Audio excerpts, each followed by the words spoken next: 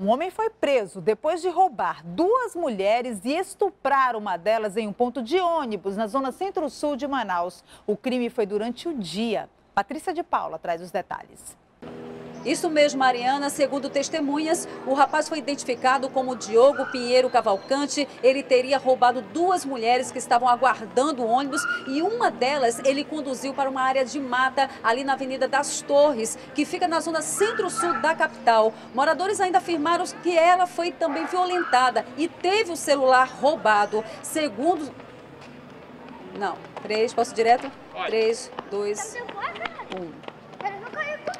Isso mesmo, Mariana. Segundo testemunhas, o rapaz identificado como Diogo Pinheiro Cavalcante roubou duas mulheres que estavam aguardando o ônibus. Uma delas ele teria levado para uma área de mata ali na Avenida das Torres, zona centro-sul da capital. Os moradores ainda afirmaram que essa moça ela foi violentada e teve o celular roubado. O suspeito foi detido por populares logo que ouviu o grito da moça pedindo por socorro. A polícia foi acionada e o rapaz foi preso. Patrícia de Paula para o Jornal em Tempo.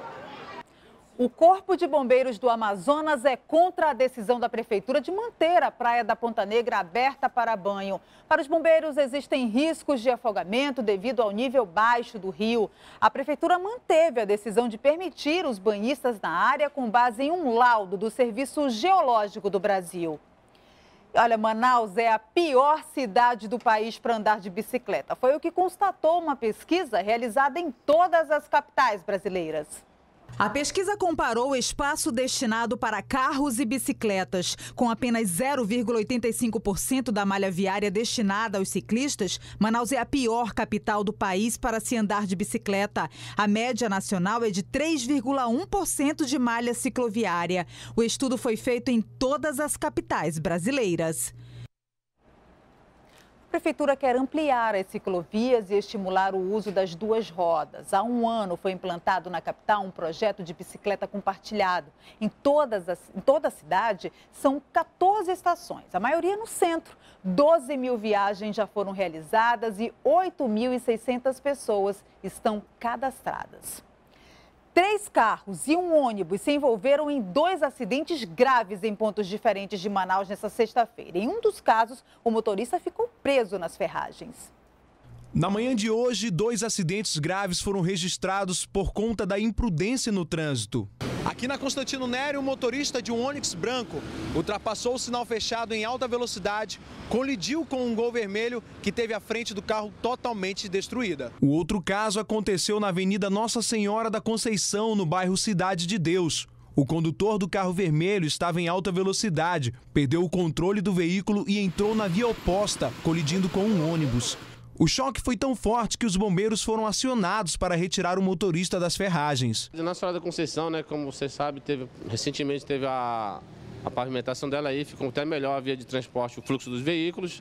Só que acontece, é, tendo em vista essa situação do racha, as pessoas querendo disputar, então acaba acontecendo realmente esses sinistros aí que acontecem na via. Ninguém morreu em nenhum dos acidentes, mas segundo testemunhas, nos dois casos os condutores estavam alcoolizados. E olha, como muitas instituições públicas não funcionaram hoje por conta do feriadão, ainda tem gente deixando a capital nessa sexta-feira. Vamos ver como está a movimentação lá na rodoviária, ao vivo, onde está o repórter Valdir Adriano. Boa tarde, Valdir. Pois é, Mariana, boa tarde a você, boa tarde a todos que acompanham o Jornal em Tempo.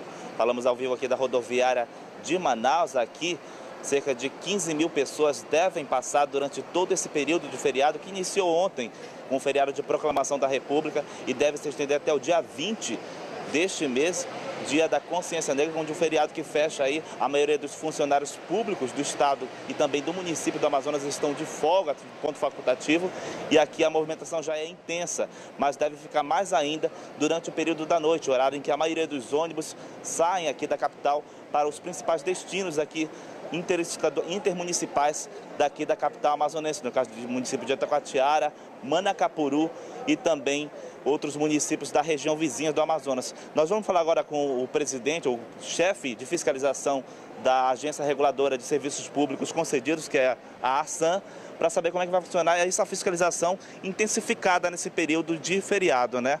É verdade, a ASAM está com seus agentes, aposta nos principais pontos de saída de Manaus para que seja assegurado um transporte de segurança e com qualidade para todos aqueles que vão utilizar o transporte intermunicipal.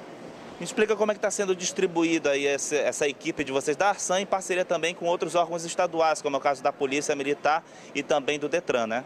Ela está sendo distribuída ah, desde o primeiro turno, que é de 6 horas da manhã até as 23 horas, como já falei inicialmente, nos principais pontos de saída da cidade, que é aqui na rodoviária, na barreira M010 e também na ponte jornalista Felipe Dal. Agora o que chama a atenção aí é que vocês estão fiscalizando tudo, desde ah, o que está sendo levado dentro dos veículos, até os passageiros e também a vistoria interna dos próprios coletivos, né? É verdade.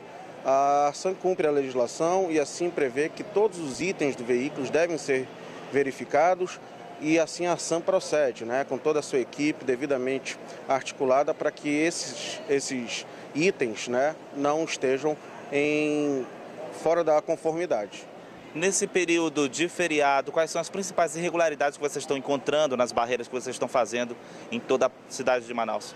É, às vezes é muito comum, infelizmente ainda, a falta do costume, muitas vezes por parte do passageiro, a falta da colocação do cinto de segurança. Essa é uma das principais irregularidades que a nossa fiscalização identifica. Pois é, tá aí. A gente está vendo aqui a movimentação, os passageiros já começam a lotar aqui a rodoviária de Manaus. A gente vê que os principais destinos, os ônibus já estão fazendo aqui, é, inclusive interestaduais, no caso aqui à noite, é, o número de passageiros é maior para a cidade de Boa Vista, capital de Roraima aí também, e também para o interior do Amazonas, Iranduba, Manacapuru e também Novo Airão. Todo esse. Todo... Deixa eu conversar aqui com as pessoas que estão aqui. Você está indo para onde? Tapiranga. Tapiranga. Aproveitar o feriado prolongado aí para visitar a família. É, visitar a família aí no feriado. Pois é, tá aqui muita gente também, algumas pessoas também já vê a câmera, já se afasta também com, com medo aí, aproveitando para viajar também nesse fim de semana, também feriado prolongado, né? Isso, aproveitar o feriadão aí que tá, tá vindo. Tá, tá indo para onde? Também Itapiranga? Não, pro 114. Você vai tudo no mesmo ônibus, todo mundo vai junto? Isso. Pois é, tá aí grande movimentação aqui na rodoviária. Esse movimento deve ser intensificado até o dia 20, feriado de consciência negra. Eu volto com você ao estúdio, Márcia. Obrigada, Valdir. Adriano, ao vivo aí da rodoviária, mostrando os principais destinos né, para esse feriadão. E olha, um acidente de trânsito aconteceu hoje à tarde no Viver Melhor, zona norte de Manaus. Lá terminou em morte, na morte de duas pessoas. Um ônibus da linha 358, que pertence à empresa Açaí, também faz rota na zona norte de Manaus, bateu em uma motocicleta em uma curva. O condutor e o passageiro da moto morreram na hora. O motorista e o cobrador do ônibus fugiram do local com medo de serem linchados. O Jornal em Tempo de hoje termina aqui. Você também pode acompanhar o nosso conteúdo pelo Facebook TV em Tempo, também pelo Instagram TV em Tempo Online. A todos uma ótima noite. A gente se vê amanhã. Até lá.